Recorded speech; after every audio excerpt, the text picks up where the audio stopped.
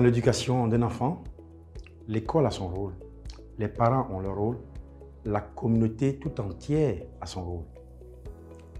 Et chaque rôle doit s'exercer avec une certaine rigueur pour que l'éducation soit complète. La famille est la matrice de vie, d'évolution, de formation.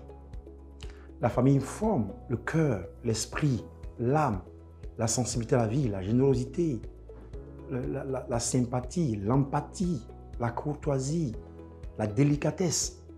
Et donc tout ce qui est immatériel dans l'éducation, dans l'évolution d'un enfant, est le fait de la famille. Rien ne remplace l'affection et toute cette force intérieure que confère la famille. C'est pour cette raison que vous voyez dans des grands procès des personnes qui ont commis des grands crimes. Euh, dans la recherche des origines de ces crimes, on se rend compte n'ont pas été entourés d'affection ou bien qu'ils avaient des problèmes de famille. Et il en est ainsi pour certaines personnes qui ont dévié dans la société. Donc la famille est fondamentale dans la formation de cette enveloppe charnelle intérieure, mais également de cet esprit qui émerge dans un individu. L'école nous donne la connaissance, que je peux considérer comme matériel, la connaissance, l'histoire, la géographie, le, temps, la science, la philosophie. Dans le même temps, l'école fait également une partie de la contribution de la famille, parce qu'à l'école, vous avez le maître, le professeur, l'enseignant, qui fait souvent office de mère, de père, et qui confère également des valeurs.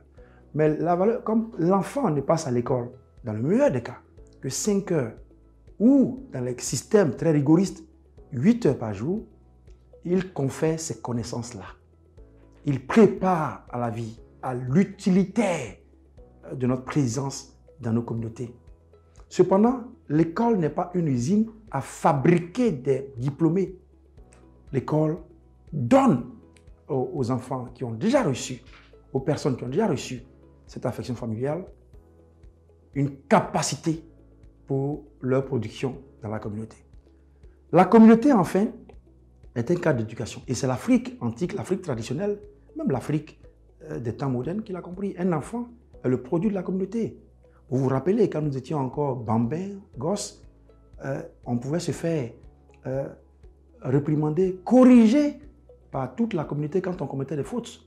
Et c'était logique qu'un parent accepte que euh, des autres parents apportent la correction et, rectifient.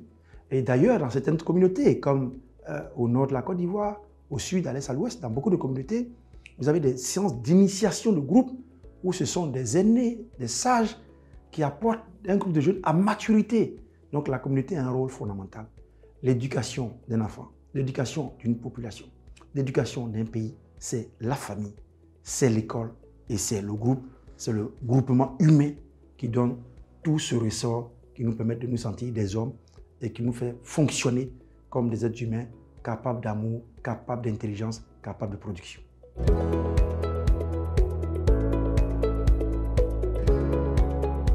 Pourquoi il n'y a pas d'ascenseur social pour les mal élevés, mal éduqués, mal formés, mal orientés et, inconscients, je dirais? Je l'ai dit dans une chronique antérieure, le travail donne sens à la vie. Dans nos communautés traditionnelles, le travail n'était pas rémunéré au sens d'argent, d'espèces. On n'avait pas tous ces mécanismes financiers de bourse. On avait des mécanismes de rétribution travail. Il y avait des gens qui étaient riches à l'époque avec l'or, avec leurs productions agricoles. Donc, vous ne pouvez pas vous affirmer dans la communauté en termes de contribuer, en termes de donner sens à votre vie, en termes de tirer votre famille, votre proche, votre village, si vous ne travaillez pas. Donc, et cela est beaucoup plus vrai aujourd'hui, où le travail se paye en espèces sonnantes et trébuchantes, où le travail est la base de la promotion, le travail conditionne l'éclat, le succès de votre vie sociale. Si vous n'avez pas donc de compétences, si vous ne travaillez pas avec rigueur, et quand je parle de travailler, je ne parle pas de l'élite bourgeoise, administrative ou économique. Je parle du travail même dans nos villages. Je parle du travail à la base. Si vous n'avez pas cette utilité sociale fonctionnelle, vous ne pouvez pas donc avoir de voix dans la communauté aujourd'hui. Vous ne pouvez pas émerger, vous ne pouvez pas vous exprimer. Émerger ne veut pas seulement dire que vous êtes au, plafond, au-dessus de tout le monde, mais émerger dans votre être, dans votre affirmation de toi et d'être simplement heureux parce que vous vivez, vous respirez, vous vous exprimez, vous vous nourrissez, vous existez.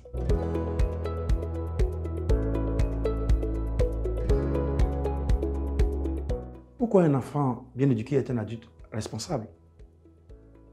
Les psychanalystes, les psychologues, les psychiatres, tous ceux qui travaillent sur la science de l'esprit, de l'âme, ont dégagé certaines théories qui font de notre enfance le départ de tous nos miasmes, de toute notre perdition, de toute notre sublimation, de tous nos arts, de toutes nos pensées.